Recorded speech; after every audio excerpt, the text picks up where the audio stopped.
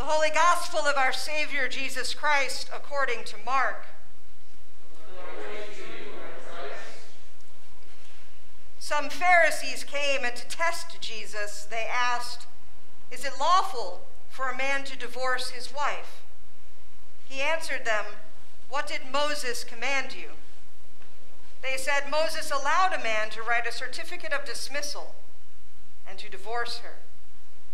But Jesus said to them, Because of your hardness of heart, he wrote this commandment for you. But from the beginning of creation, God made them male and female. For this reason, a man shall leave his father and mother and be joined to his wife, and the two shall become one flesh. So they are no longer two, but one flesh. Therefore, what God has joined together, let no one separate. Then in the house, the disciples asked him again about this matter.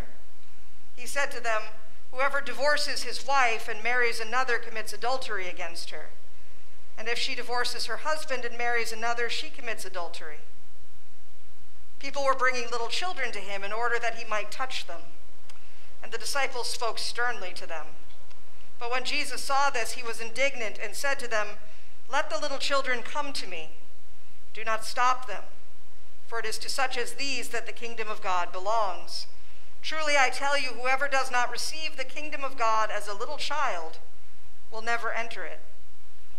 And he took them up in his arms, laid his hands on them, and blessed them. The gospel of the Lord. You, Lord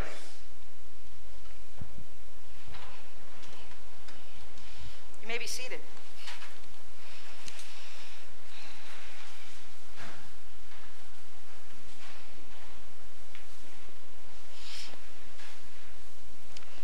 So this one doesn't count for me, I guess, because it's only talking about men divorcing their wives. No, of course not. It's about, of course, what Jesus and his Pharisees are working out together. I mean, the Pharisees belong to God as well, remember. And they're not people necessarily who are trying to destroy the mission of God. We get this sense from the way that Jesus talks with the Pharisees that there's always an adversarial thing going on. That the Pharisees who are testing Jesus might not be in it for good reasons. But I actually think that the Pharisees, who were the precursors of the rabbis that we have now, were not in it for bad reasons when they're talking to Jesus. They're testing him about the law because the law really matters because the way that God taught Israel throughout history and the rules that were given to the people of Israel for how to be holy people and to be identified as God's people when there were a lot of people around them who were not behaving in holy ways were important. And the Pharisees are not asking Jesus these questions, remember, because they're trying to destroy Jesus' teaching. They're asking him these questions because they're good questions. Is it lawful for a man to divorce his wife? Given that you are talking about love and loving your neighbor as yourself and loving God and obeying all the commandments, what do we do about this hard pastoral question that's probably coming up, where people are coming to us as the leaders of their religious group and saying, well, but, but there's this problem in my marriage, or there's this issue in my relationship, or my wife is not faithful, or my husband is abusive, or this or that, or simply we are not living in the covenant as it was described here. We are not one flesh. How do we deal with this? In a society where people needed to follow the rules because that was their identity. This was a very important question. It's still an important question because even though we don't live under the law the same way that the people of Israel lived under the law, even though, for example, I could look at this and say, well, it's not about me. The rules have changed for me because I'm married to a woman. Nope, not really. Because the rules that Jesus is talking about are not about of course, the gender of the people involved, or the way that the ceremony was carried out, or the kind of things that the people in the relationship thought about it under the law. What Jesus is talking about when he says, Moses allowed a man to write that certificate of dismissal, which is a very hard way of putting it. Moses allowed that because of the hardness of your hearts. But from the beginning of creation, God made them male and female. What Jesus is saying is God's inherent goodness and love is in us from creation. And we are made to be united with each other. I won't get into whether God made other things besides male and female, but the question here is not about the letter of the law that they're disputing. It's about hardness of heart. It's about how we approach each other, how we love each other. And there are times when our hardness of heart requires a special rule. A special rule like, yes, you can get a divorce. Because God does not want his creatures to be destroyed. God made us, and God loves us from the very beginning. And in the beginning, in that story about Adam and Eve, and about one or the other being made for each other, that story is not about romantic love. It's not like I was made for you because there's some sort of special feeling here. It's about a covenant.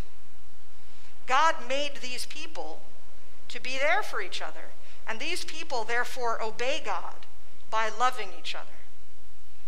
They are united not because they like it, not because they are anything other than creatures of God who were made to love.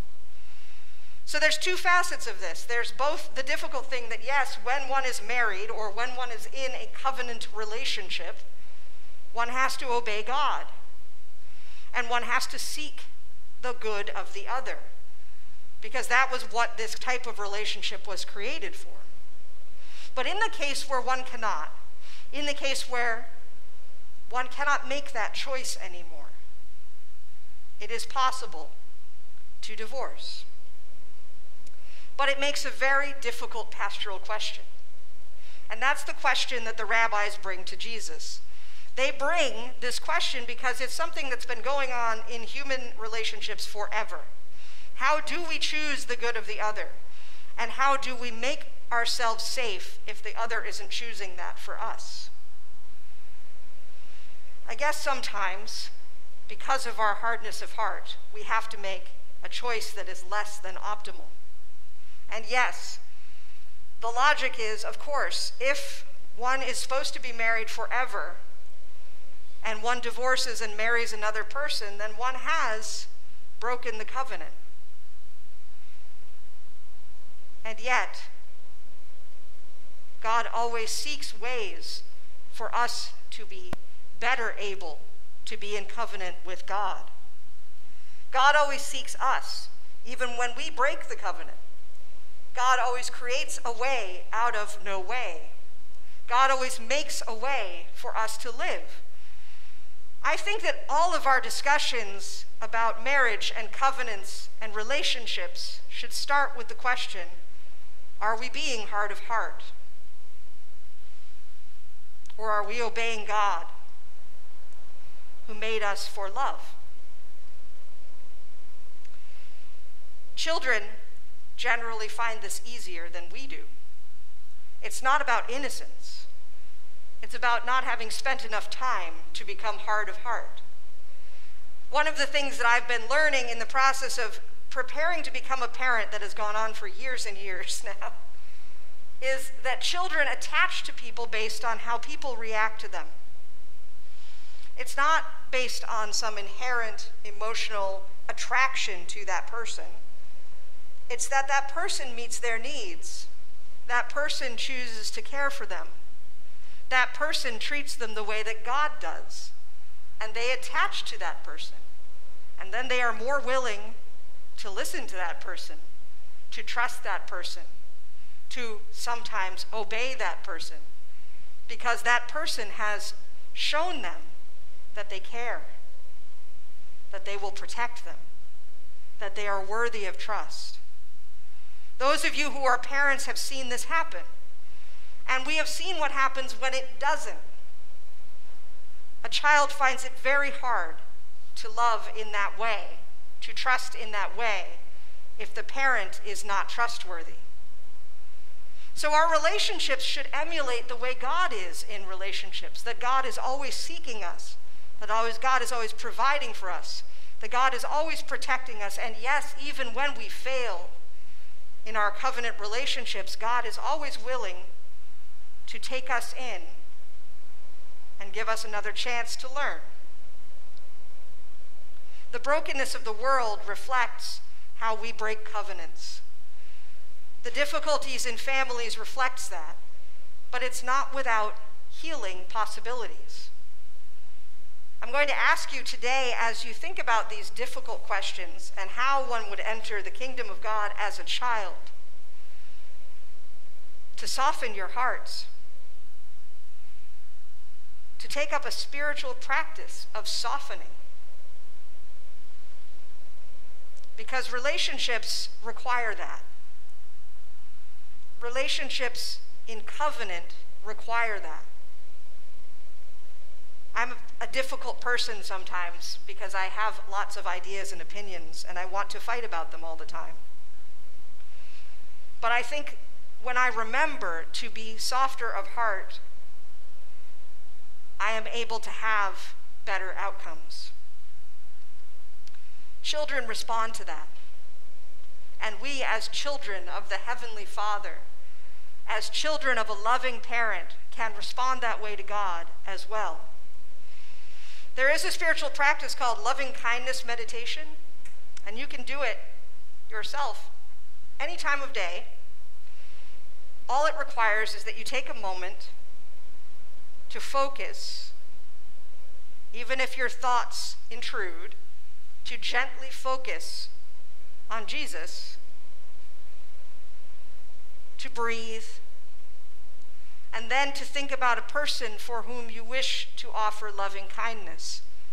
It could be yourself, it could be a person you're having trouble with, it could be a person that you're not having any trouble with, it could be your child. Simply offer that person loving kindness and feel what your heart feels. Feel how it softens toward that person.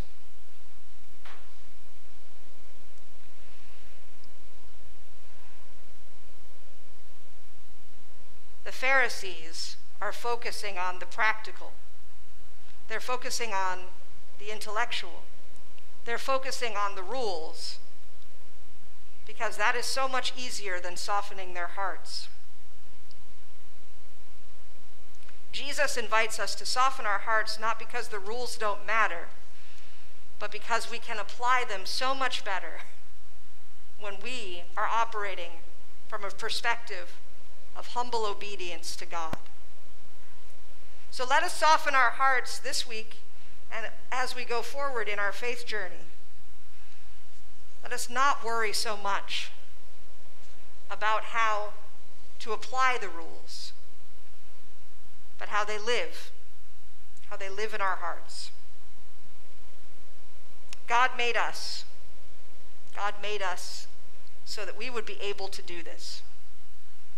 God gives us rules and gives us ways of coming back when we fail. And if we trust God the way that children who are attached trust their parents, our hearts will soften. Our stress will get less. Our relationships will get better, even in these hard questions.